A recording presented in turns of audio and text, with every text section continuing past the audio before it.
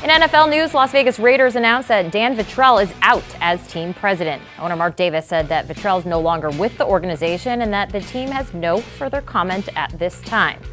He took over as Las Vegas's full-time president following the conclusion of the 2021 season.